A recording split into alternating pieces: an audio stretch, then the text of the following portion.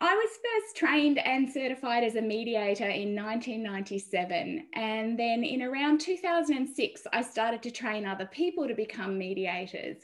And I sometimes struggled to help my students learn how to mediate. And part of the training involved me demonstrating different parts of the process. We were teaching a very standardized 12 step facilitative model. So I would demonstrate some part of the process and then I'd watch the students who would role play mediations and give them feedback. And one of the things that I noticed when I was doing this was that students often just copied things that they'd seen me do, but they didn't seem to understand why they were doing these things. And they also frequently became stuck and asked me for advice about what they should do when something unexpected happened. And there was never a completely foolproof answer to those kinds of questions because, in most situations, there were multiple possibilities for what they could do.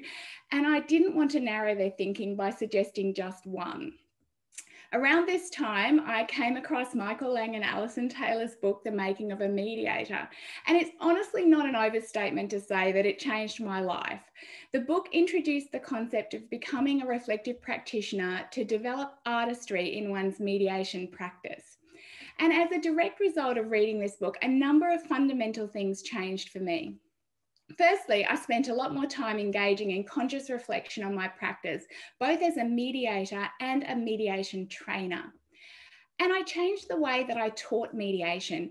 I included reflective activities for students throughout the mediation training program. When I demonstrated mediation skills, I also spent time speaking out loud what I was thinking as I was deciding what to do next. So I demonstrated mediation, but I also demonstrated how to engage in reflection in action during the mediation role play. I developed a set of reflective questions to ask the students during role plays when they sought direction. I wrote an article about it um, called Teaching Mediation as Reflective Practice that was published in the US Negotiation Journal. Later on, when I developed the Masters in Conflict Management and Resolution at James Cook University, I ensured that one of the foundation subjects that students had to do before they trained as a mediator or facilitator in negotiation, they had to do the subject ethics and reflective practice, because for me, those two things are inherently connected. So students had to develop knowledge and skills in reflective practice before they went on to the practice-based subjects like mediation and conflict coaching. And finally, and something that I know Michael and I are going to talk about today, uh, I developed the Real Conflict Management Coaching System that is based on supporting people to reflect on their experiences of conflict for the purpose of developing their competence and confidence to manage it better themselves in the future. It's to enable people to manage conflict, but hopefully aspire to artistry in their own personal interactions in conflict situations, not just as practitioners. So for me, reflection is, is something that everyday people can do with a bit of support um, to, to develop artistry in their day-to-day -day life. So since then, Michael has published a second book, The Guide to Reflective Practice in Conflict Resolution, which I know many of you have read and which has had a significant impact on developing everybody's artistry as conflict resolution practitioners. And so today I'm delighted and honoured to have the opportunity to speak with Michael Lang virtually in person um, and to have a conversation about reflective practice and to share Michael's wisdom with you. So thank you, Michael. I know that probably seems a little bit over the top, but it's absolutely true. I'm very grateful. Thank you. Thank you. That's very kind. And I know that a lot of my students have had similar experiences. I've had people say to me, "Oh, I've just read Michael Lang's new book. Oh my goodness, it's changed the way that I way I think about my practice, that I develop in my practice.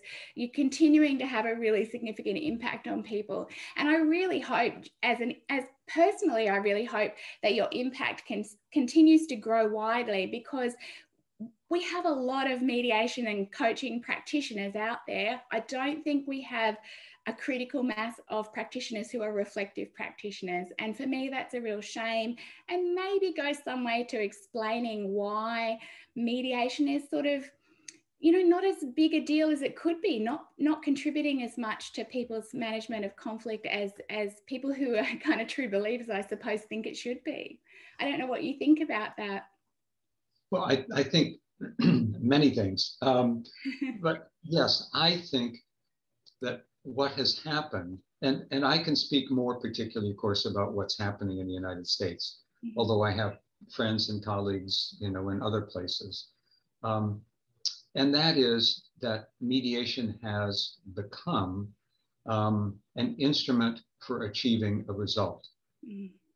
It isn't uh, viewed um, in a significant way anymore as a process by which people engage with one another to figure out what, if anything, they want to do about the dispute between themselves. Mm. Instead, it is a forced march between sitting down at the table and walking out of the room with an agreement. And I'll give you one example that I was stunned when I moved to Florida and decided uh, when I moved to Florida in the early 2000s, I was um, busy teaching and I wasn't thinking about trying to develop a practice because it was, it's a lot of work. And uh, I didn't have the sort of connections that one would need in order to build a practice. But a few years later, I said, oh no, I'm, I really feel the need to get back into active practice. And um, then I began to learn about the way in which mediation was conducted. Now, let me just say this is generally true for, for all civil mediation as well as family, but I'll speak specifically about family. Mm-hmm. Parties come in with an attorney, each with a counsel. There is a, an initial conversation um, in which the mediator does her or his thing of explaining what mediation is about. It's, you know, this sort of, sort of standard introduction. And then the parties go to separate rooms and they stay in separate rooms mm-hmm. As long as it takes to complete the mediation. Hmm. They, they don't stop until there's either an agreement or a decision that there won't be an agreement. So those mediations can last six, eight hours, sometimes longer, but longer is a, is a rarity. And part of the reason it's a rarity is because there's so much pressure to achieve a settlement on the part of the mediator and counsel. The parties have no interaction with one another. Their messages are communicated through the mediator in the same way that they're in, in non-mediation situations, the lawyers would be communicating for the parties back and forth with one another. And, and as a result, there is no real process. There's only an outcome that's mm. considered. And I think that it has, um, it has also taken mediators away from the notion that they are actually engaging in a facilitative process. And instead, they're looking at it solely in a, in a functionary, utilitarian way. Mm. Let's get the deal done. Yeah. So there's no, you know, the, why would they reflect on their experience? The only thing that matters is my settlement rate. Mm. Even within that very narrow sort of vision of what mediation's purpose is, there, there still would be some room for reflection, though, wouldn't there, on, on how effective they might be in, in persuading parties to settle and what sort of things might work and might not work and you know being a bit creative perhaps even within that narrow constraint there's still room for them to reflect and develop their practice within the, those narrow boundaries you're absolutely right of course there is it's that there's not the inclination to do it. That's all I'm speaking to, mm-hmm. not not the possibility. Mm-hmm. You know, I have for the last four years, I have facilitated a monthly group uh, that's sponsored by the American Bar Association section on dispute resolution, and um, uh, we have uh, these are all lawyer mediators. We have a couple of outliers uh, people whom I've invited, whom I know are really competent and interesting mediators who aren't members of the ABA. But since I, I hope they're not listening, the ABA is, but um, you know, I, I, get to make that choice and nobody cares because the meetings are successful. We have 12 to 15 people every month. It's a drop-in group. And we've talked about construction disputes, um, uh, copyright and patent infringement, family, landlord tenant, community, uh, a whole range. And, and they are lawyers, uh, lawyer mediators who practice in a variety of ways. Some of them are, are focused on a more joint experience where the parties are in the room and they work in an organic and direct way to, to have a conversation and see where that leads. And others are, uh, are more um, solution focused and very directive. And we all participate together. So there's a perfect, you know, example of, um, of exactly what you were just saying, Samantha, that of course it's possible. Mm, yeah. And I guess it's easy to get sort of defensive about what what our beliefs are that you know getting an outcome is the priority, getting parties to communicate more effectively is the priority. And if that's the the thing that you you value the most and and then someone else says oh you should think differently about that. Perhaps you should try something different. A natural response is often for people to get defensive and defend their their course of action which is kind of the opposite of reflective practice isn't it? Reflective practice is being open to looking at it differently and questioning yourself.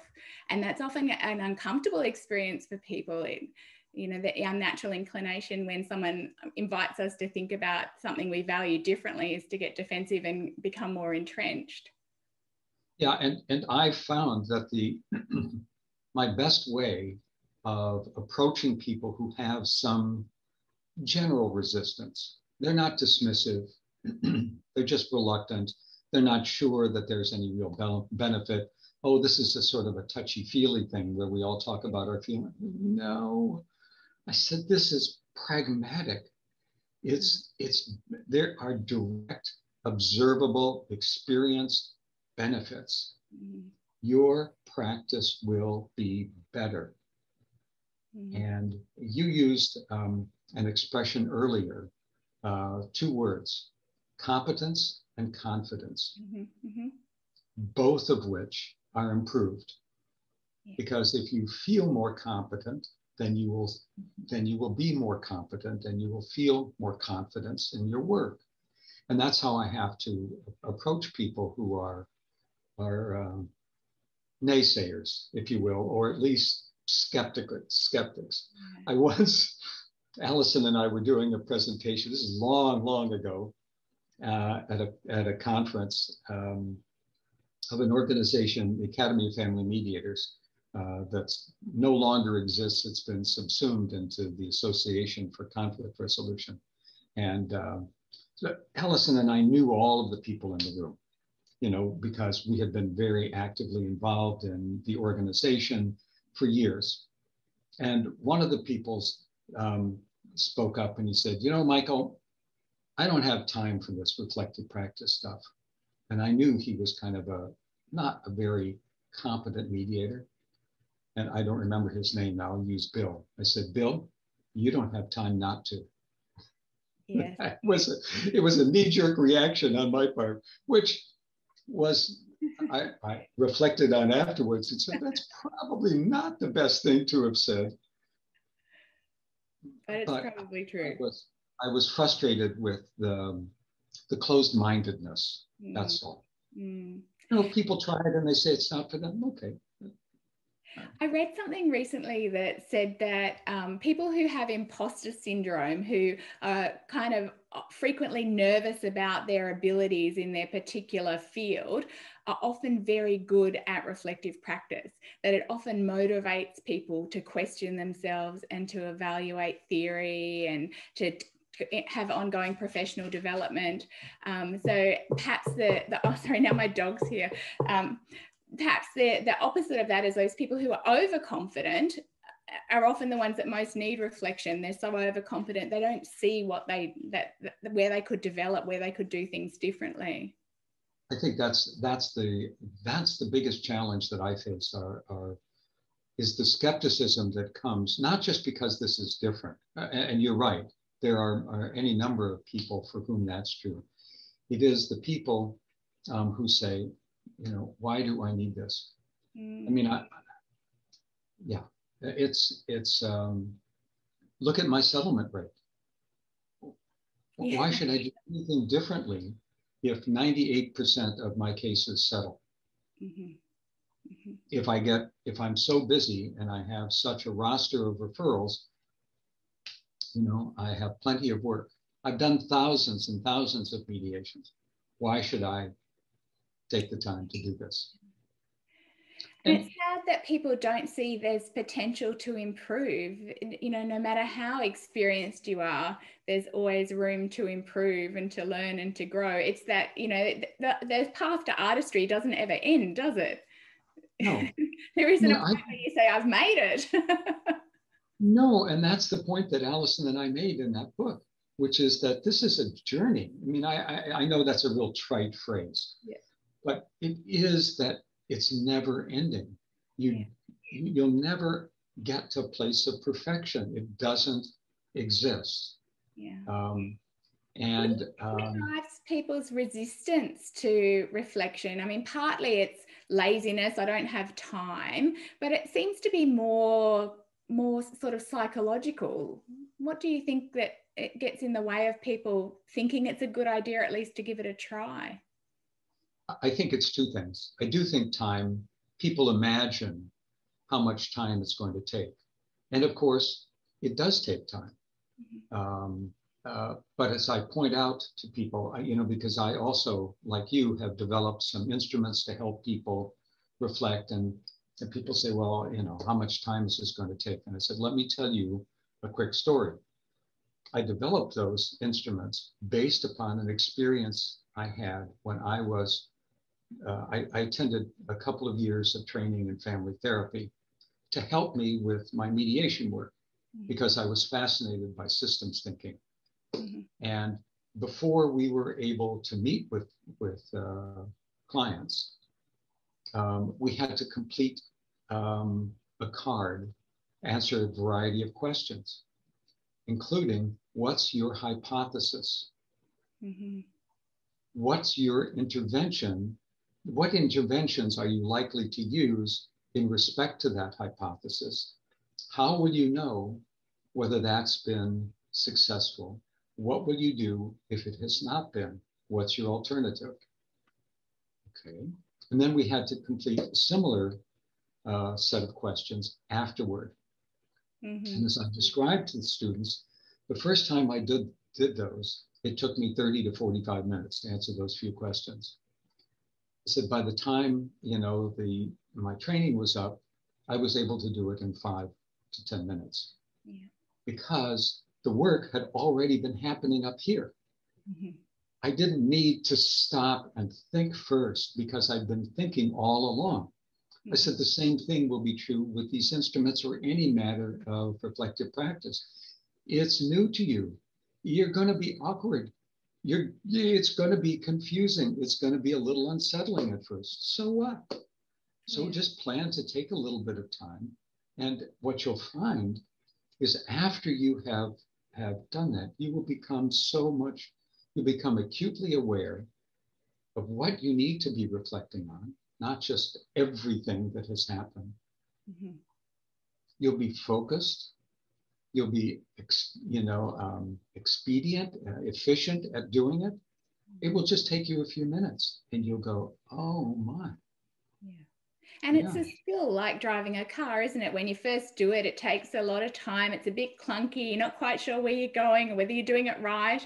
And then before you know it, you're driving along, you drive between your home and your work, and you don't even realize you know the intersections you've passed along the way it just sort of happens without you having to pay attention to it. And it's the same thing isn't it? Reflective practice is a skill that you develop and it you know it, there's a benefit in it becoming kind of internalized and part of your day-to-day um, thinking but then you also have to go back and and make it make it strange again so that you don't get in a pattern of reflecting the same way over and over again and missing an opportunity to, to develop further Right. And I, one of the examples I use in support of that um, is an American basketball player. He's now retired, Michael Jordan, mm-hmm. who was considered uh, at the time uh, and probably still now, if not the best, one of the two or three best basketball players ever.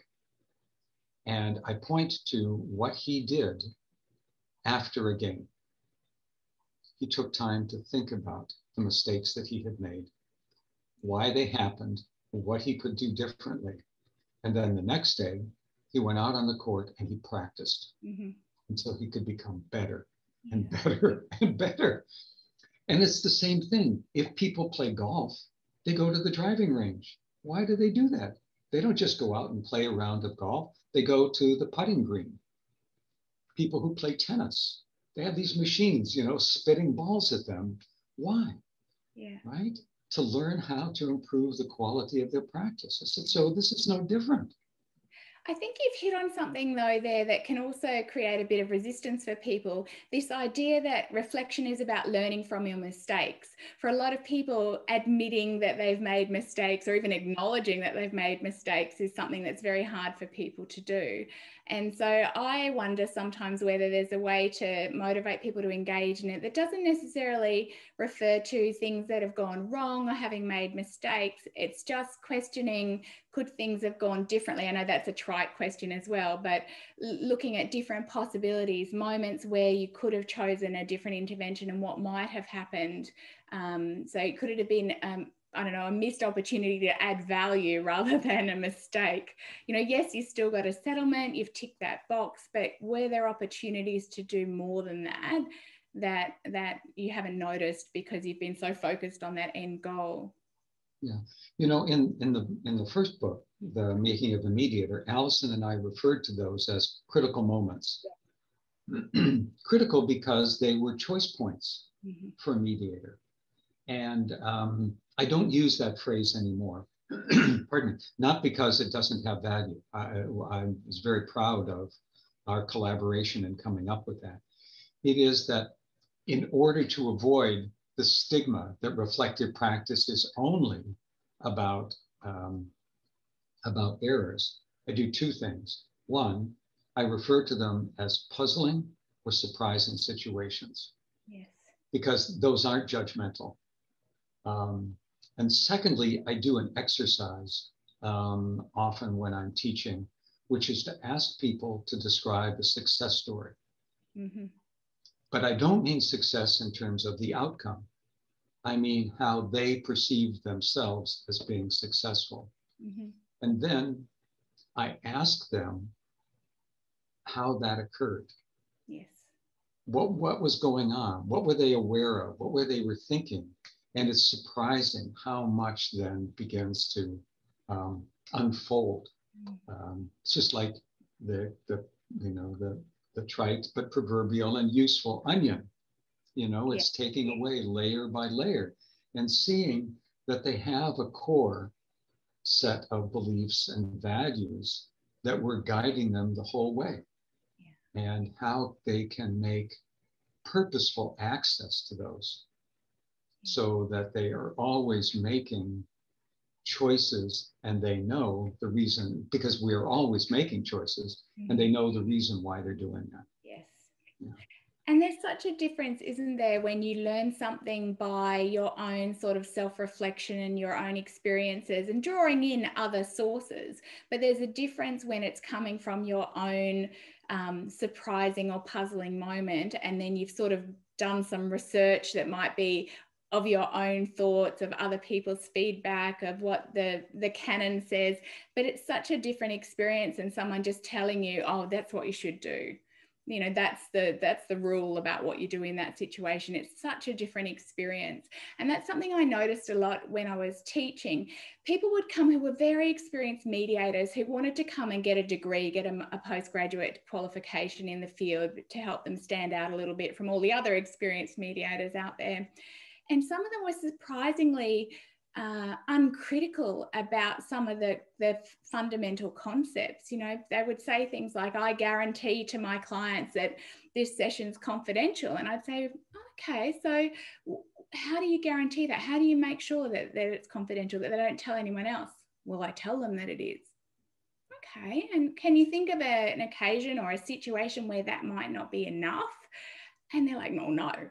You know, that's, and it's funny sometimes how surprisingly uncritical they can be. They hold on to what they've been told, but they never really understand the purpose behind it, the flexibility and the, you know, the possibilities behind it. They just hold on to what they've been told, repeat, rinse and repeat, rinse and repeat.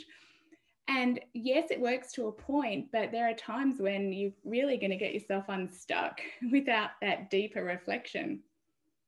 And that's where the distinction of reflective practice from other methods of helping us learn as a result of our experiences yeah. is that in the is that we want to be able to challenge people's assumptions challenge them to identify their own assumptions not because i have a different set of values that i want to impart mm-hmm. but because i want to know what what values or assumptions or beliefs they're using mm-hmm. in order to guide their decisions. Yes.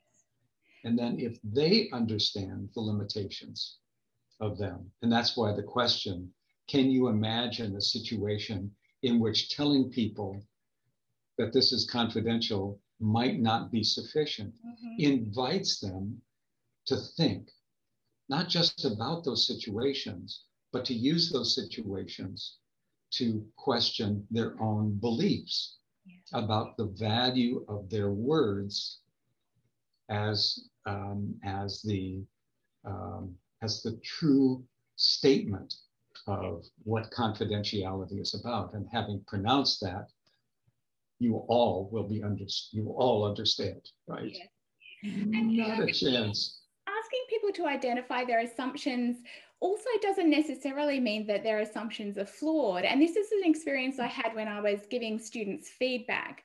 Um, students would do something in a mediation role play, and I'd think, oh, that was not what I was expecting them to do there, or that's not what I would do in that situation. And I had seen other people say, oh, no, you shouldn't do that. No, what you need to do in that situation is this once I'd read that, that, your book with Alison and I'd come up with these reflective questions, I would instead of doing that, I would say to them, when that happened, tell me what you were thinking. Like what what what made you decide to do that? And sometimes when they explained it to me, I'd like I'd say, that's a great explanation. When I saw you do it, I didn't understand where that was coming from. It seemed weird to me. It seemed wrong from my point of view. But now you've explained your hypothesis, I suppose you know, that makes perfect sense.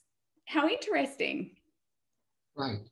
Because that's part of the that's part of the value, for example, of talking about success, mm-hmm. not just struggles. I'm not I'm not going to use the word mistake yes. because I don't want I don't want to anchor that in people's minds. Uh-huh. Um, having just said it, it is it is that it's not that when you ask people to question their assumptions, the underlying idea is for them to be aware of those assumptions, uh-huh.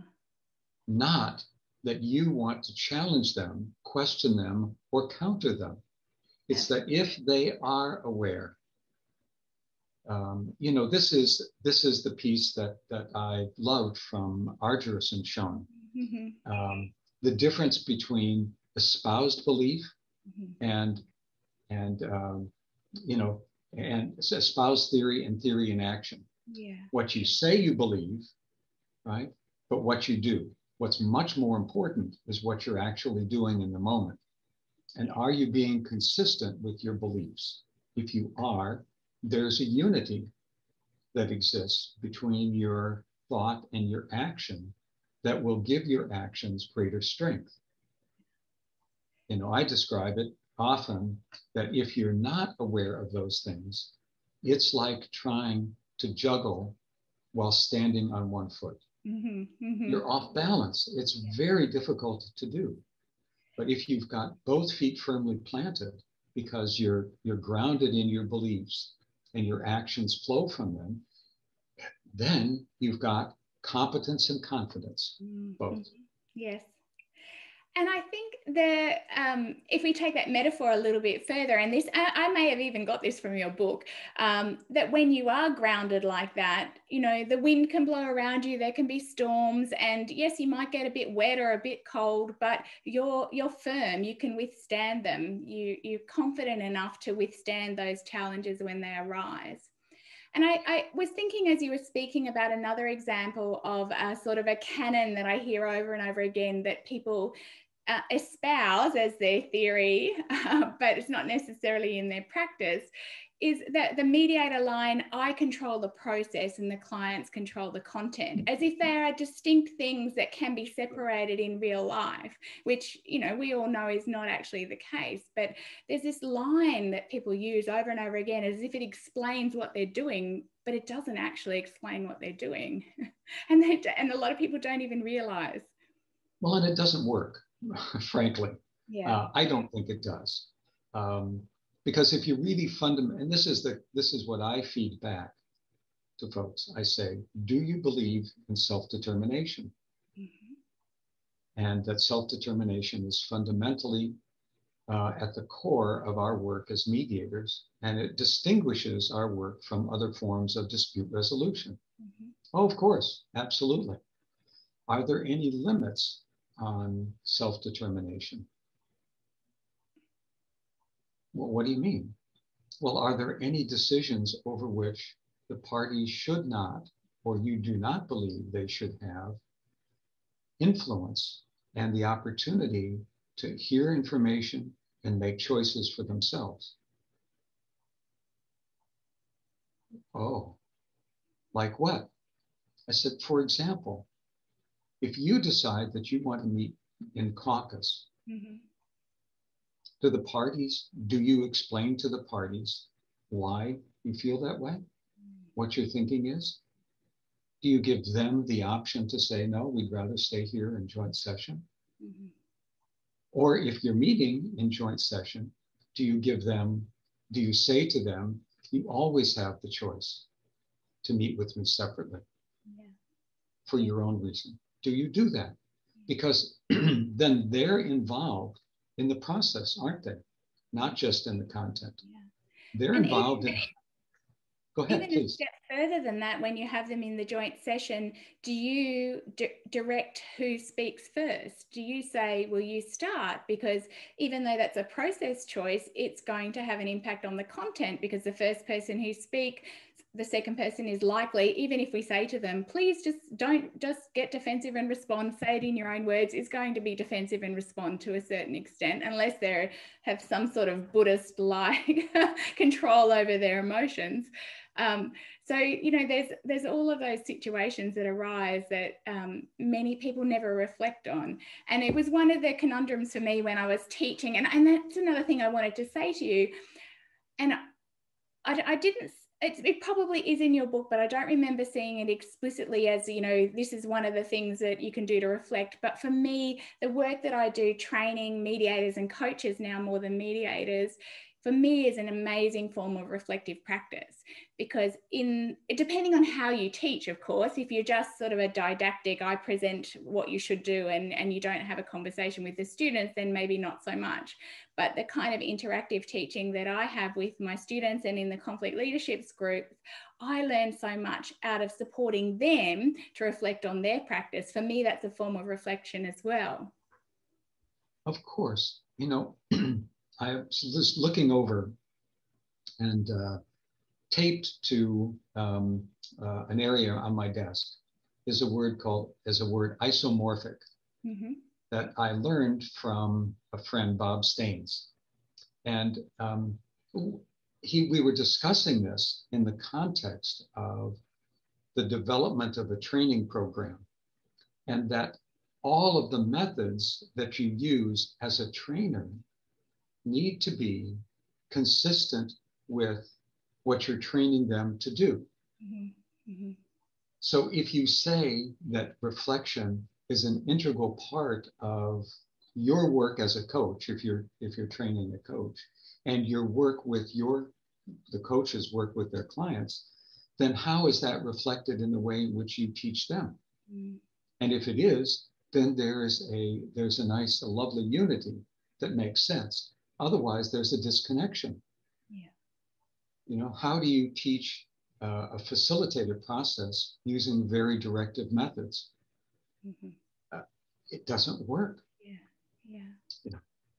And again, I think it's worth um, acknowledging that in some ways it feels quicker just to give an answer, just to give a quick bit of advice, a quick bit of direction. And I think there's always that tension between the quality of reflection that, that you can facilitate and the amount of time that you have to do it. And I think in some mediation contexts where you only have a limited amount of time to reach an agreement, in Australia, I think the, the standard for a family mediation, the standard time allowed in many of the court connected programs is around three hours, which is not a lot um, you know that you, you may not be motivated by the the contextual constraints to do more than the bare minimum in getting people to that resolution as quickly as you can, even if it means putting them in separate rooms and doing some kind of shuttle process. Well, that's what it, it tends to lead to. I don't think it has to be that way. Yeah.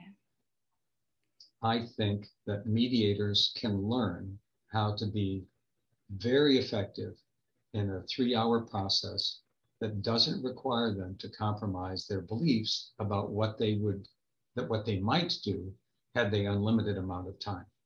Yeah. Because i get this from from court mediators. Mm-hmm. they say well you know you're in private practice. You can do whatever you want. I say fine give me a i'll sit in with you. I'll show you how it's possible to do a significant piece of work in only three hours mm.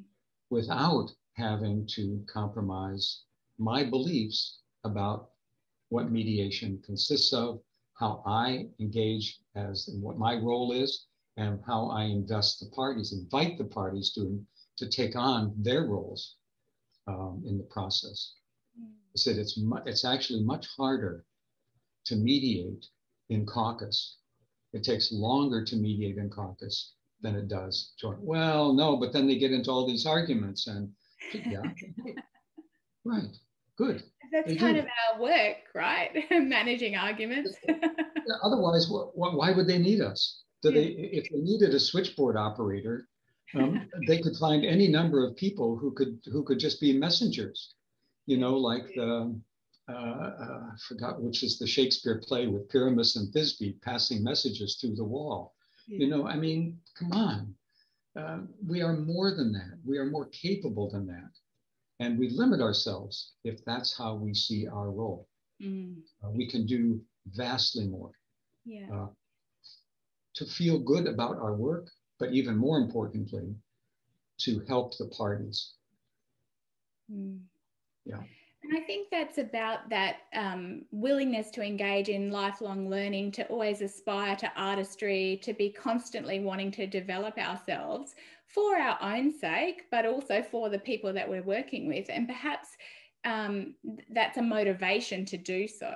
And if if we're getting our rewards in a superficial way and that's getting us through our working life, there's and there's maybe not a lot of incentive for people to do things differently until something goes wrong and then they suddenly realize that all those years of experience didn't prepare them for this one unexpected moment.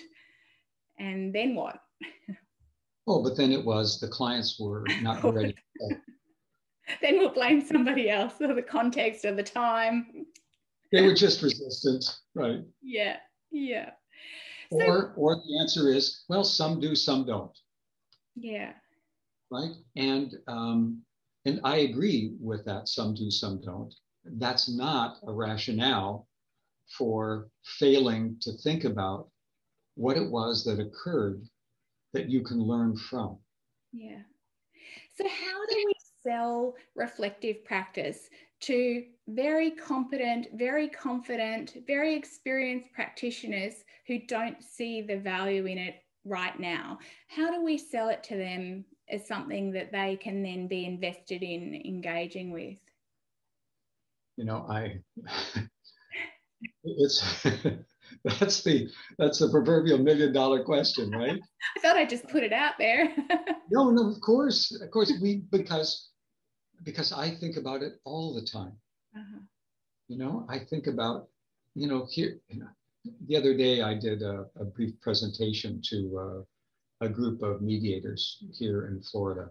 And uh, I was, I don't know, I just didn't get through to them. You know, three of the 15 uh, or 16 or 18, however many there were, responded to me and asked for more information, and that's good. And um, uh, the others, I, I, I, in some ways, it was a problem of uh, video conferencing mm-hmm.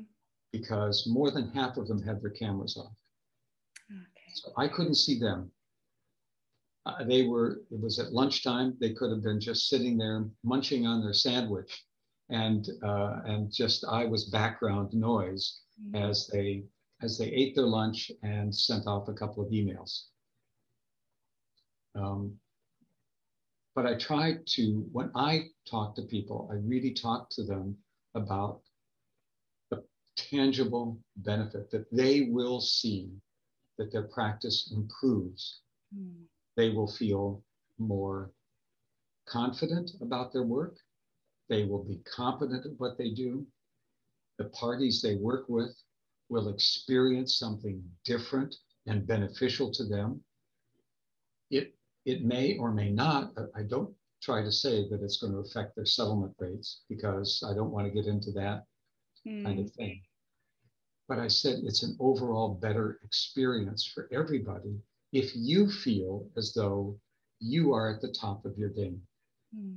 And then I try to use whatever metaphor seems most appropriate playing golf, playing tennis, whatever it could be, you know, referring to um, sports figures. Or I use a quote, which I can't remember now, from Pablo Casals, the, the brilliant cellist, who at 93 was practicing every day. So, you know, because there's still something to learn. Yeah. I find those kinds of metaphors to say, look, you know, people who are, are, are brilliant don't just stop when they achieve some level of brilliance and achievement and, uh, and attainment and recognition, they keep striving to get better and better because they see the possibility of their work. They see the elegance in it, the artistry in it. Yeah, yeah. It's not an easy sell. I mean, you've really, you have to find the right metaphor, I think, for the right group of people. And so when I'm when I'm addressing a large group, I use multiples mm-hmm. because some people will be arts oriented, some people will be um, uh, sports oriented.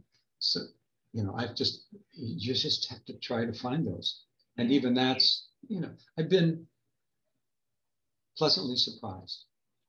and maybe works. also finding their personal hero, someone they really look up to and think, wow, you know, what they do is just a whole nother level and then trying to demonstrate how that person has achieved that whole nother level by undergoing a process of continual reflective practice.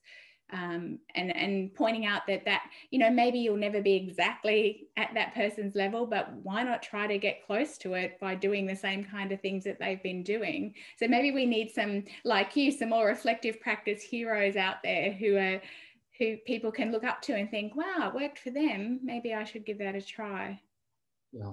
And, and I do think when I'm when I'm in a sorry in a more intimate setting, not you know uh, two or three hundred people or fifty people or twenty five even, and especially if it's ongoing, it's it's a lot easier to be able to say to somebody, what would you like your practice to be? Yeah. Like, yeah. what would you like to experience as a practitioner. And then when we're in our reflective practice groups and somebody is describing a situation, the question is, is back to them. What's your question? What is it that you're interested in learning about? To make it personal to them so that it isn't me trying to figure out what they need. Mm. And it's the same thing that I encounter so often with mediators which is they assume what the parties want, but they don't ask the simple question whether it's about process or about the content. Yeah. And you know, Michael, in my experience with clients in in conflict as well as with trainee conflict coaches or mediators, a lot of those people, once they're trying it, once they're in the process of being supported through a reflective process, really understand the value of it. You know, what it's once they've tried it, you know, a large percentage of people are on board. They see the value of it immediately. There's always a small group of people who are very resistant to change. And I think that sort of gets in the way of reflective practice and, and managing conflict effectively. Uh, so those people are always going to be resistant because reflective practice involves some kind of change. Uh, not necessarily changing your practice, not necessarily hmm. changing your mind, but changing the way you think about both of those things, what goes on in your mind and your practice. But I think it's a, it's a, a little bit about giving people a try before you buy experience as well, because most people, when they experience it, immediately understand the value. One of the things that coaching clients will very often say to me is, when I came into this session, I didn't really think that there was much new, that I was going to be able to do anything different. But it turned out it was all in my head. I just didn't know it was there. You know, I just didn't, I couldn't see it because I was so fixated on what I thought was happening and what I thought was the answer. I'd lost this stuff that was already there, and you kind of helped me get that out. And people have that experience. It's like an epiphany for them. Wow. And they realize that a lot of the time there's so much more going on that they can access themselves, maybe with a little bit of support from a coach or, or you know, someone who's running a reflective practice type group. I, I think one really good experience can get people on board, you know, for the rest of their their life in a way. Mm-hmm. How, do you do that with your clients? I'd be interested to know with your coaching clients. Uh-huh, uh-huh. So, with the coaching model, one of the things that we kind of base the whole philosophy on, well, there's four things. The REAL stands for reflection, engagement, artistry, and learning. And for me, I guess what I thought was when I'm working with clients in conflict, particularly one on one, very often they uh, they need to reflect on their experience in a different way. They do it in a very superficial way. They only pay attention to certain things. They make a lot of assumptions. We all know that in conflict, people jump to conclusions very quickly and they're often misleading or incomplete. So, part of what I do in a coaching process is to help them unpack all the stuff that's in their head and look at it differently and question their assumptions and the information that they have, the dots they've connected. So, I mean, the basic process we start out with a goal, although in a process of reflective practice, I'm not 100% convinced that starting with a goal is necessarily the right the right way to start because one of the downside I'm, I'm finding eh, through a process of reflective practice is that some people then hang on to that goal for dear life and um, it can narrow their thinking in terms of other possibilities. Um, so that's something actually that I've been rethinking and talking with my students about. It really upsets them when I've taught them something and then I, I come to the next group and I say, you know what? I'm thinking maybe we shouldn't do that. And they're like, oh, come on. I only just felt confident doing it. Um, so, but we do start with a goal. I think it's probably more like an idea of what their goal is at the start as a tentative kind of idea of where they think they're heading. The next stage is, is about exploring what happened. And I use the analogy that I take them right back to the start of the conflict, um, you know, insofar as that's practical. And then maybe a little bit before that, because often the where they choose to start the story um, leaves out some important information that comes before. Um, and I take them back through that really slowly. And as they leap from sort of say stepping stone to stepping stone, I say, what's in between these stepping stones and what's under that one and what's that over there that we just rushed past? So it's a very much a process of slowing down um, their memory of their experience. At, in that initial stage, it's very much oriented to just kind of getting the facts, although they're obviously not necessarily facts. They're their, it's their version of what's happened and their experience up to now. And really unpacking it from sort of a, a plot outline into something that's much more nuanced. I feel like I've understood what they were thinking, what they were feeling, you know, as much as possible, given whatever amount of time we have. the next stage in the process, after we've sort of complexified that story a little bit, without necessarily challenging them, just being very curious and asking a lot of questions to fill in gaps and ask for a little bit more information about their thoughts and feelings. The next stage is very much about their feelings. So it's the why does this matter?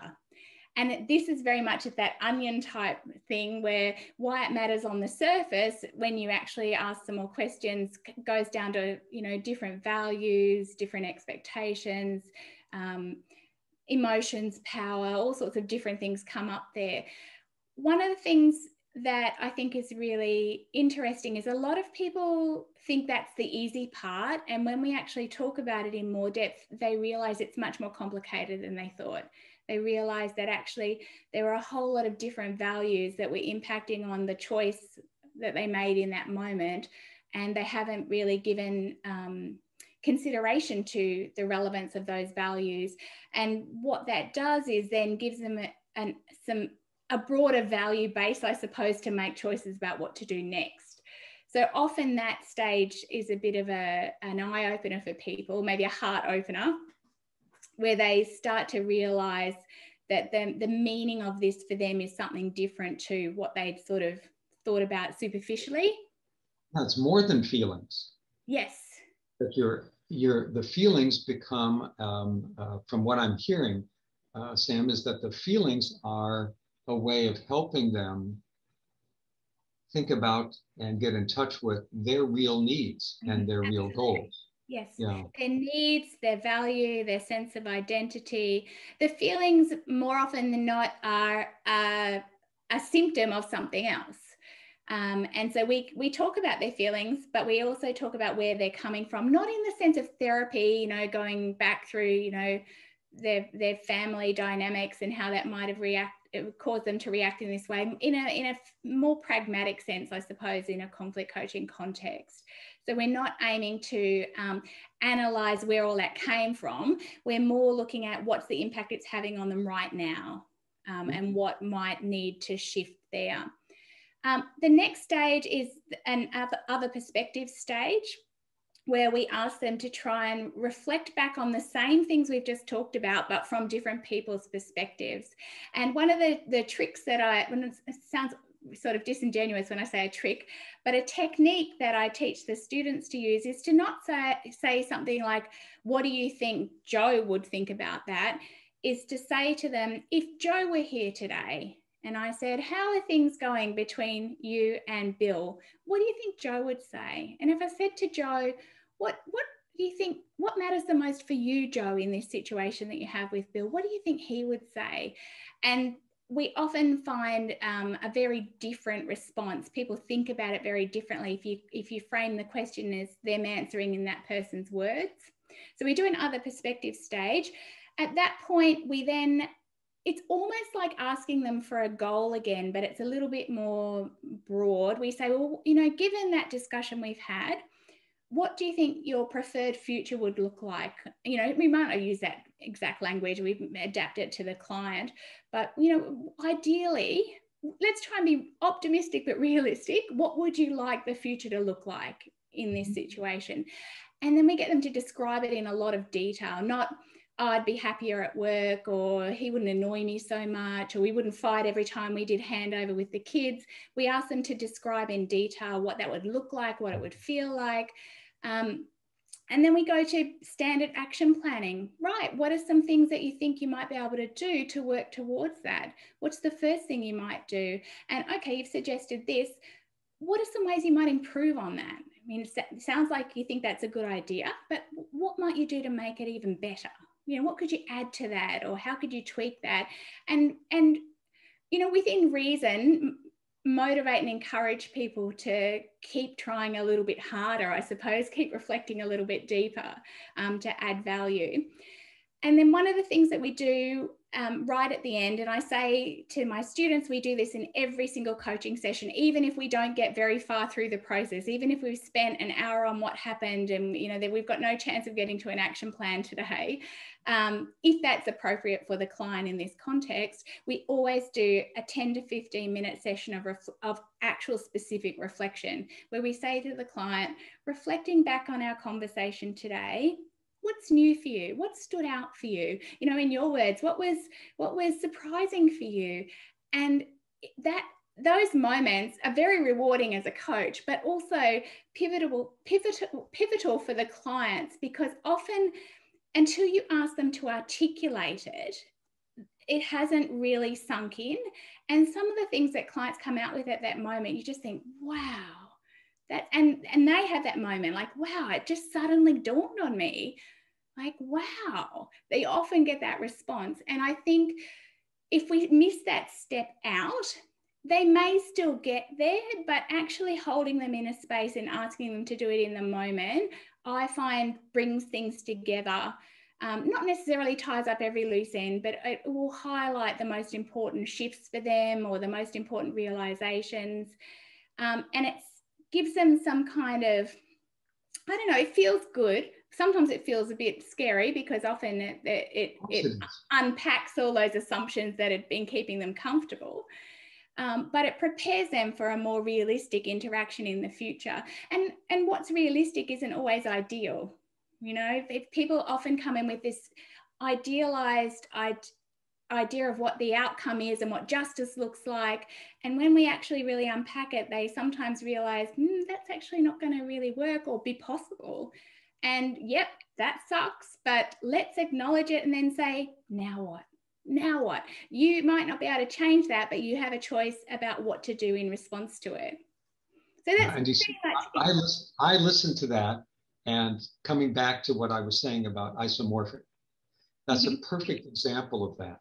That if what you're doing in your interactions up to that moment, where up to that last bit, is based on some principles of reflective practice, that that you're asking the parties, the, the coaching client, your, your philosophy is that if I engage with the client as I am leading them through all of these steps, the R E A L, right?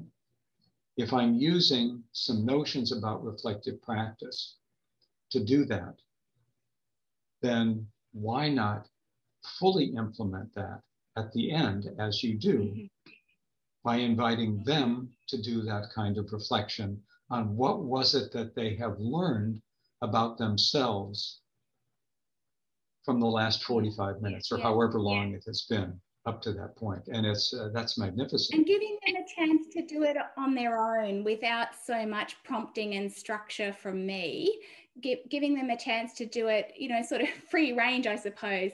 Now without me asking you specific questions tell me what's been happening for you what and yeah it's a it's a really magical thing. i should clarify though that the rea the, the REAL aren't the steps, they're the philo- philosophical underpinning. So the steps are very much what happened, why does it matter? I should um, talk briefly about the others. So reflection is, you know, what reflection is clearly. Um, engagement, what, what we mean when we talk about engagement is that people engage with the conflict insofar as it's safe for them but engage rather than just avoid it or just skim over the surface, that they actually engage with it, explore it, think about it, um, try to do what they can to, to influence it in a positive way. That sometimes means not actively engaging in, for example, a conversation if it's unsafe, but in, engaging as opposed to avoiding, I suppose, is the kind of key part of that the A is for artistry, something that you're very familiar with as well. And they these things are all interrelated. We want our coaches to aspire to artistry by ongoing reflective development in their practice, but we want our clients to aspire to artistry. Let's not just do the bare minimum to make this conflict go away. Let's see what you can do that might be even better, that might be longer lasting, that might set you up to avoid this kind of thing in the future, or might build a relationship with this person, not just end it civilly. You know, dip, so we want to encourage them to do better than what they what is good enough, but but not maybe very artistic, I suppose.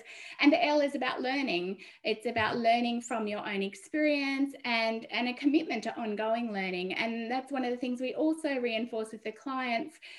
Yes, in this session we've had today, you may have learnt a few things about yourself, the situation, other people, what's important to you but it's not going to stop here. You know, you're going to go away after this session and you're going to think about some of these things. You're going to notice things differently. You're going to respond to things hopefully differently and better than some of the, the less proud moments you've had in the past um, don't don't lose the momentum. Keep thinking about those things and asking the kinds of questions we've done here in between sessions or afterwards if, if we're not having another one. So they're the sort of they're the, there's a sort of our philosophy of what we're trying to do and why. The steps are much more pragmatic but i guess it, the, the real elements is the purpose that drives our practice in the very pragmatic stages. That if you're going to ask a question is it for one of those reasons or are Thank you just you. curious or interrogating? I got myself confused. Thank you. That, that makes a lot of sense. Yeah. And, and we say that the things that we hope to do with the client, again, very pragmatically, we say we want them to develop the five C's. The first one is clarity, being clearer about their experiences and what's going on. The second one is comprehension, and that's about having a depth of understanding. So, not just getting the facts straight, but having a, a depth of understanding about how those facts came to be. The third one is choices. And we want clients to recognize that they will have made choices, even if they feel like they're the, you know, helpless victim of somebody else's actions. They will have made choices or not made choices, which is a choice in itself, in the past. We want them to recognize those and to reflect on them. Were they good choices or were there different choices they could have made? And we want them to realize that they have choices in the future. They might be limited, they might not be ideal, all of them might feel like bad choices, but they do have an opportunity to take some control over their own future by making a choice. Um, the last two is the competence and confidence. So they're the things that we want clients to walk away with through our process of kind of reflective practice. So yeah, I mean, I think it's the same thing that I do with my coach students and my reflective practice groups but instead of us talking about a professional intervention, we're talking about this person's life experience in this particular conflict context. In a way, it's the same process, it's just a different setting that we're, we're enabling it or supporting it. What I'm, what I'm uh, delighting in is hearing about your descriptions because what they speak to is doing with, not doing to the client. And, and you know, when we were talking earlier about, uh, about some of the ways in which mediation is practiced, it is that sense that I know so much. Mm-hmm. I and, and and it includes whether I'm a content expert, right, in this particular field. Um, I actually had had a you know this after 35 years of practice, a um, uh, an, an attorney said, "No, I don't want you as a mediator because you're not a Florida attorney." So, okay. All right, that's that's your choice. Um, but it is that sense that that come to me and I will take care of you. Mm-hmm. Mm-hmm. And, and that's the success rate. Look at my success rate. I can give you what I think you need, not necessarily what you need. and and for me, it's always come with me. Yeah. Let's work this together. I've had some interesting incidents recently in reflective practice groups where um, where the answer to the dilemma that the that the party that the client that sorry that the mediator was experiencing in the moment. I'll give you one quick example. Um, trying to work out a custody arrangement, and and uh, one of the parties was just um, couldn't make decisions. It, and and the other one was being very forthcoming and saying, look, whatever you want. Is this good for you? If that's not, then how about this? If neither of those are good, what would you like? I don't know. I don't know. I don't know. Couldn't make a choice. And uh, and the mediator said, the reason I'm bringing this to conversations because I don't. I'm, I'm ready to end the mediation. And I said, and I said, so ultimately, I won't recount the entire conversation that took 45 minutes. Um, the ultimate conclusion she came to is why didn't I just, why don't I just ask her what she needs mm-hmm. from me, from the process, in order to be able to make a decision? She had all the information she needed. That wasn't the issue. Yeah. What do you need? You tell me. Yeah. And that's an, an example of working with somebody and not saying, look, um, the father has presented you with all these proposals. They're good proposals. Choose one. Mm. They match your general needs. Choose one. Yeah. Yeah. Yeah. And I think in a, if that was happening to me in a coaching session, the the response that I'd be likely to give would be something like, I notice that you don't seem willing to to make a choice. Tell me what's yes. going on. Tell of me what's course. going on for you. What's tell me about that. And right. what happens. I mean, maybe there's a very good reason. you know, maybe they don't necessarily need something from me. Maybe I just need to hear what's what's their thinking behind the way that they're behaving. Totally. And, you know, I've said to many mediators in training, pardon me, we have an enormous power that we seldom, if ever, use the power to notice mm-hmm. non judgmentally. Yeah. Exactly. And what you just said, Sam, is a perfect and, and gracious and graceful example of that. How you invite the person to talk about themselves so that the more they talk about themselves, the more you learn how you can be responsive to them. Yeah. Oh. One of the things we talk about a lot in our coach training is that when you're working one on one with a client, you don't need to summarize very much. And maybe if it's helpful to, to help the client who's very confused put things in order. But, but basically, when we're summarizing for the client, we're filling up airtime and it's us thinking and them listening to us, not listening to themselves. So, what I say to the coach trainees is try to summarize as, as, as less as you can, as little as you can. I don't think that's grammatically correct, but not as not as much as you would do in a mediation. Um, if you're about to do it, ask yourself quickly why why do i think it's appropriate if there are some good reasons like the client's really confused and it might be helpful maybe that's okay but if it's just because it's kind of your habit or you want them to feel like you're paying attention there may be other things you can do that don't fill up so much airspace and perhaps then focus the client on what you've summarized rather than where they were going next in their train of thought. So we talk about the two main techniques or skills that, that we want our coaches to use. One is questioning. Obviously, open ended are better than closed because it allows the client to continue on, um, but also the observation observing in a neutral, non judgmental, supportive way what you're noticing in what the client's saying, or their body language, or their emotional reaction, and just observing it without necessarily a question attached, and just saying, I'm noticing this, pause, and see where it goes. Right. And you know that's they're amazing interventions that that don't require us to have a very detailed hypothesis to make sure that we're asking the right question you know we just put it out there gently and see what what happens and that's so powerful and it can be because we don't have enough information to form a useful hypothesis. Yeah absolutely. And in coaching i think that's maybe more likely to be the case because generally speaking we're only coaching one side of the conflict not like mediation where we've got a little bit of both sides of a story. So we have to be very careful that we don't buy the story as the whole story, the truth. You know, we have to keep reminding ourselves that we're getting an interpretation of a situation from this person's experience and that who are we to judge which bits are accurate or missing or you know invalid no that's exactly right that's their choice yeah yeah we can help um, identify places that they might want to explore Yeah. that would help them question some of their assumptions. Mm-hmm. But that's not up to us to judge them yeah. and to and to substitute ours. Yeah. And people are much more resistant if they feel like you're leading them somewhere, if you're trying to get them to see something. Whereas if you're just following along and, you know, kind of being curious about things, they're much more likely to respond. And then often they develop insight sort of accidentally in in being interested in the fact that you're interested in what's going on for them.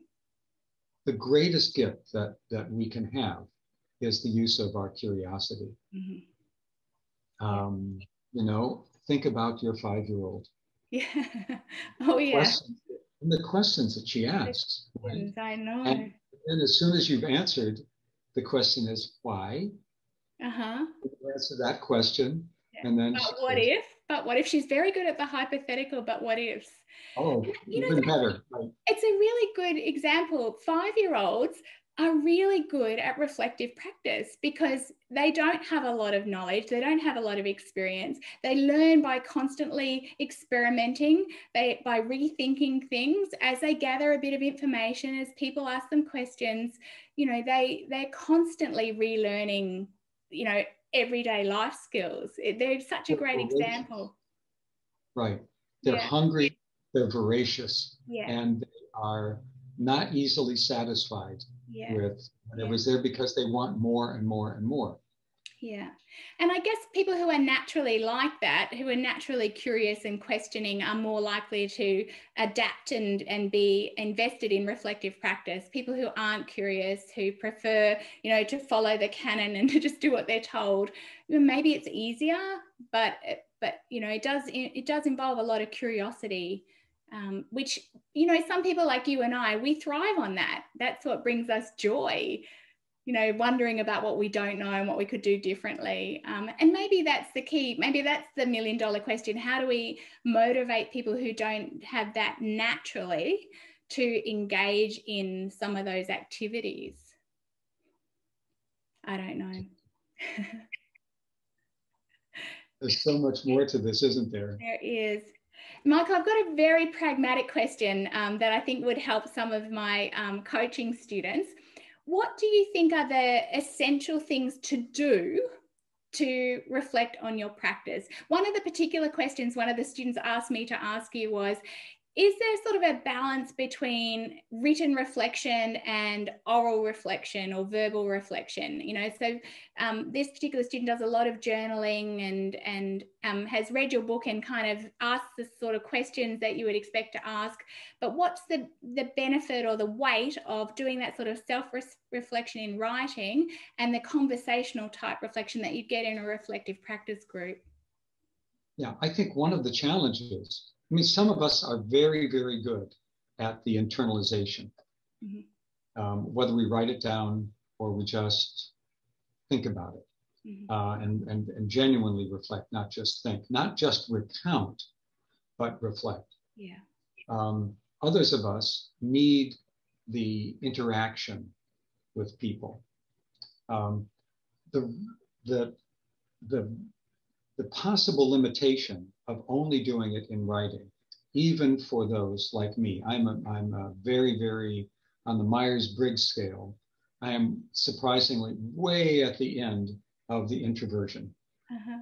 And um, because I love to take things in and think about them, I describe myself sometimes as like an old um, stone mill you know, that, that just gr- had these two big stones that grind the grain down to powder, right? Uh-huh. That's me, uh-huh. um, which can be a problem, but it's also a gift, you know. Um, yeah. I take it mostly as a gift. Um, the value of the oral part is that somebody else is engaging with you and they will have a slightly different perspective on what's happening for you. Not that they will tell you the answer, mm-hmm. but they will have different questions to ask than you've asked yourself. And so yeah. I think that it's really, really important to do the oral part, no matter how much writing you want to do. Yeah, yeah. And for me, that's the more um, fun part in a way you know the the unexpected questions or the unexpected reactions and in a group seeing people's reactions to other people's experiences and answers to their questions and the excitement when someone asks a question and the person's like whoa okay. I have to think about that. You know when when someone has that reaction it's always like great question. Look at them thinking about that.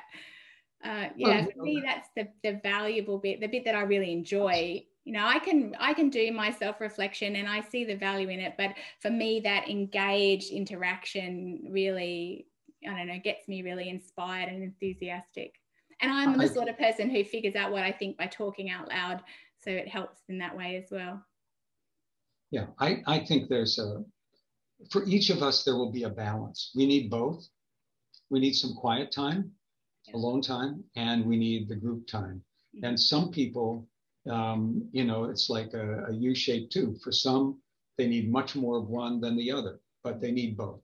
Mm-hmm. I think I need both, and I th- my experience tells me yeah. that other people do as well. And how would you recommend that practitioners who aren't necessarily very academic, who haven't got a background in an, in you know like a masters of conflict resolution or something like that, how would you suggest they best engage with theory?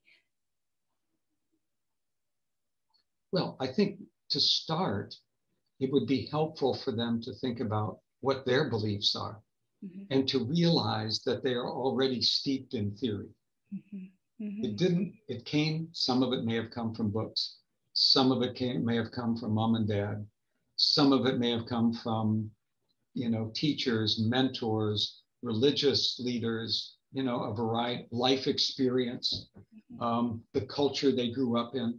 Yeah. Um, yeah, all of that. And, and that's why the idea about the constellation of theories was uh, was so brilliant. That, yeah. You know, when Alison and I were talking about this this mass of of ideas that people carry around in their head, she had the idea of sort of doing a graphic of the constellation. She says it's one way to depict what's going on. Mm-hmm. And at the center are those core values, those core principles that are not going, they're, they are essentially immutable. They're so fundamental to how we see ourselves. Yeah. And then there are the others. And I think, so that's, I think, the first step. Uh-huh. The second um, is to find pieces to read that are accessible. Mm-hmm. You know, and I talk about this in the book that, that a lot of us, uh, myself included, when we start reading a research article, you know, our, our eyes go like this, you know, and, and oh my gosh, and the chi-square this and the, you know, this, oh, I, I don't understand the methodologies. So it's really difficult to make sense of that. Yeah. And so what I say to people, even if you're reading something like that, read what their question was. What were they going to explore?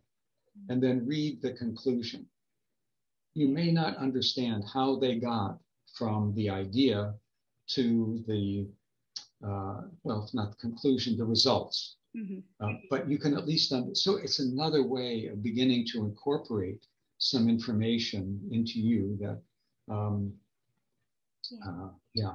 It doesn't necessarily mean doing an academic degree in your discipline. I think oh, technology has helped in a way make those sorts of things more accessible. And a lot of academics are blogging, or a lot of people who blog in the field will reference um, those sort of resources and summarize them. It's something I personally try to do quite a lot is to try and make some of that stuff accessible to my students and, and people out there generally um, because I know that I, I have the luxury of the time and I quite enjoy reading some of those things, although I must admit often I don't understand the technical sides of the methodologies either. But I think what I can can contribute to my students um, and the people in my community of practice is I can synthesize and summarize and make those sorts of things accessible. And if it comes with some reflective questions about how that might apply or, uh, you know, maybe prompt them to consider what they do in a different way, then that's really useful as well. But with the constellation of theories, the, so I run a couple of different groups. There, it's all under the banner of what we call the conflict leadership program. A lot of them are practitioners, but many of them are people who are managers or who are senior medical doctors um, who have to manage conflict in the course of their kind of other role rather than it being their job or their consultancy business we did an exercise a couple of months ago, which was so much fun and so interesting. And I think, in a way, it was a kind of constellation of theory. What we uh, decided we would all do in between our sessions was we would write our own practice manifesto. And in this manifesto, we had to talk about who we were in our role as a conflict resolution practitioner and why we were. And so we had to not just be talking about, you know, oh, I use this process and this is the model that I use and this is my years of practice and experience. It had to be much more personal about, and I said, imagine that all of us put our manifestos up on a wall and a client came in and we all did exactly the same thing in more or less exactly the same way, how would they be able to disting- distinguish you from everybody else in the group? And the sort of things that people put in there were just mind blowing. And I think really prompted them to think about what they did and articulate what they did. As you said, putting their theory in, in use into words, being able to actually describe it. It was such a powerful experience. It was, and the thing when people read them out, you could just see the passion and the the learning. It was such a fun activity. Yeah, it's a brilliant idea. Yeah, and one of the students came up with it, so it wasn't my idea, but it, gosh, it was a winner. it's, it's a winner, and that's exactly a way to be able to get to to the answer to the question of uh, one answer to the question about do I have to be an academic? Do I do I have to be able to read these you know journal articles that are written for other scholars but not for me as a practitioner? Um, yeah. Um, yeah. I'm conscious of the time. I could probably talk to you for hours more, but it's been, been nearly 90 minutes already. and I don't want to keep you here for, for much longer. People may be getting tired. I'm just going to have a quick look. Um, I think I've covered. Most yeah, I do have to leave in a couple of minutes. Yeah, sure. Oh, look, it's been so valuable and um, so stimulating. And I'm sure that um, not just me, anyone who watches this is going to have a lot of food for thought and hopefully will inspire and motivate some people to give reflective practice a try to even if they don't join an official group, create their own with some colleagues um, and ask each other those kind of questions and challenge each other to aspire to artistry. It's, you know, it's such an amazing experience. Exactly. And then maybe we'll do a follow up conversation because the one, what we didn't do is talk about how you do reflective practice. Uh-huh. We talked about the value of it, the, uh-huh. the uh, how it inspires um, and excites us, how it, you know, we didn't talk even about the specific benefits no. that, uh, that accrue. Well, that's because this is a huge topic. It isn't something that's, um, you know, that can easily be captured in 90 minutes. Yes. If it, if, if it, if it could be, um, then, uh, then uh, I don't know. I can't imagine. Then it would be a pretty thin yes. and uninteresting yes. thing. And I don't, I would be very interested in. It would be easy, but not very valuable. That's right. Mm-hmm. That's right. Yeah. So, um, yeah, so this is the first of who knows how many. I would love to speak to you anytime. It's been such a great experience. And as I said, your, your book with Alison really changed the trajectory of my practice and the way that I develop my practice and now the way that I work with students and clients in my practice. So I, I honestly, it is the one book. If I, if people ask me which is the book that's had most of an impact on your career, that is the one. And it's, it's often not what people expect. They're like, oh, it's not like, some dense theory on conflict, you know, techniques or you know, theories underlying why conflict arises and escalates. I'm like, no, it's about reflective practice and developing artistry. the rest of the stuff's easy. and, and, in, and in fact, the techniques that we teach aren't that difficult to mm-hmm. learn yeah. as techniques. The application of them and why you would choose them now that's that's um, uh, that's a lifetime's work. Yes. Um, just one other thing I was going to mention earlier. I'm just reading a book. I'm almost finished it. It's called Think Again by Adam Grant. I don't know if you've read it. He's a psychologist. It's only just come out in the last month or so. But he his whole book is about this idea of rethinking and the benefit of rethinking. And as I'm reading it, I'm just translating rethinking to reflection all mm-hmm. the way through. Everything he talks about is about reflection and reflective practice. Um, he, he, it's one of those books, you know, on the New York Times bestseller, very easy to read, very entertaining, lots of anecdotes. But in a way, it is a book about being a reflective practitioner in whatever you do. Um, and it's a really fun read. And I think I got the idea, I think, from that book about the being um, uh, and having the imposter syndrome is actually a, a, benefit because it makes you more likely to reflect and learn. And a couple of the other ideas that we've talked about, I think, are sort of in there in a slightly different way. But that's a very accessible book about the benefits of rethinking. I, I want to read that. I read a review of it.